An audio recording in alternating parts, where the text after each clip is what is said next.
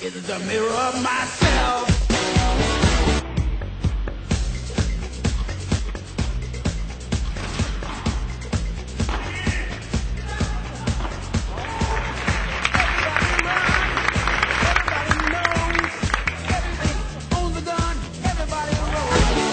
Is mirror of myself.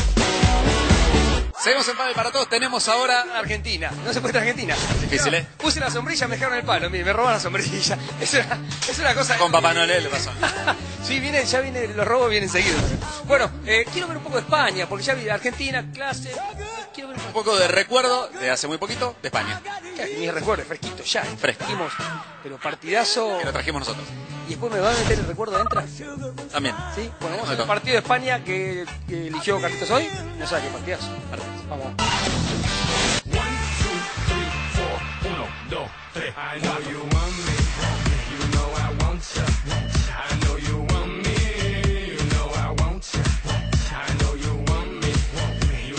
Semifinal entonces del Campeonato de Reserva de Liguerón. Lo tenemos a Matías Díaz, Miguel Lamperti del otro lado de la pareja número uno, Juan Martín Díaz y Fernando Velasteguín con esa volea de derecha. Bueno, vamos a tener la oportunidad acá de ver bueno, uno de los mejores partidos que se pueden dar hoy en día.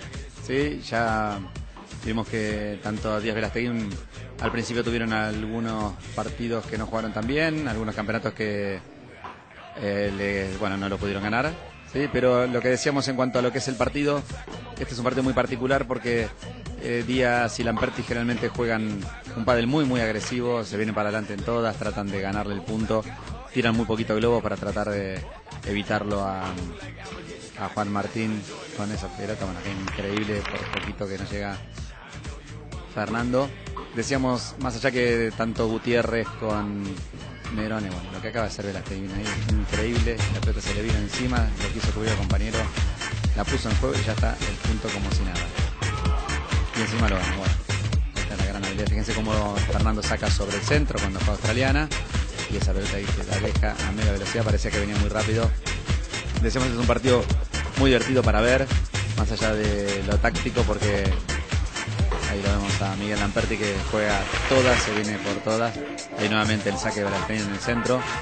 Y decíamos, más allá que Recaguste o Nerone Gutiérrez le hayan ganado también, ahí de nuevo el saque hacia el centro, cuando está en australiana. Lo que se ve en este partido es un juego mucho más agresivo por parte de los rivales, que son Lamperti y Díaz. Por eso el partido hace mucho divertido. Y fíjense, esa es una costumbre de Lamperti jugar esa pelota abierta. En el pádel cuando se le abre el ángulo a los jugadores a nivel profesional, creo que ahí traerlo, decíamos, en este nivel, de nuevo el saque a la T, decíamos, en este juego cuando se le abre el ángulo a los jugadores que están en la red, el punto se acaba, ya sea para ganarlo o para perderlo. Generalmente se lo pierde, ¿no? Ninguno de los dos llega, de la gente que quiso poner la paleta, no llegó y Juan Martín ahí nuevamente. Fíjense cómo Fernando le juega la pelota sobre el centro, ¿sí? cuando tiene la oportunidad, el globo a Matías, que a media velocidad la juega sobre el centro gana un punto con la cabeza, evidentemente, porque jugó a media velocidad. Bueno, ahí fíjense, tenía tiempo. Una cosa de lo que hizo Juan Martín, cómo bajó esa pelota a mitad del vidrio. Bueno, punto para definir. Acá tengan en cuenta que eh, noten cómo se van armando los puntos sobre el centro. Y ahí decimos, se abre el ángulo y encima la parte la saca por la puerta. Por eso es una jugada que a nivel profesional se tiene que ver nuevamente. Fíjense ahí cómo Fernando le abrió el ángulo. Bueno, lo que pasa es que Juan Martín Díaz saca una pelota increíble. Este también. El caso de otros jugadores hubiese sido punto. Ahí está. Sobre el centro y a poner a jugar incómodo con los rivales.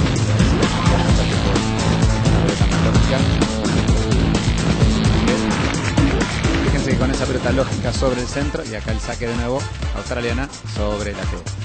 Recuerden esto porque muchas veces el jugador se olvida.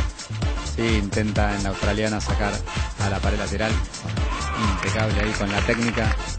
Cómo hizo que la pelota saltara.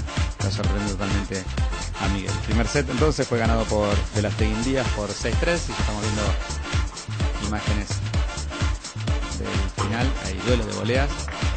Siempre también es importante, bueno, para la nueva traer. Fastidio ahí de Miguel y nuevamente el saque a la australiana sobre el centro.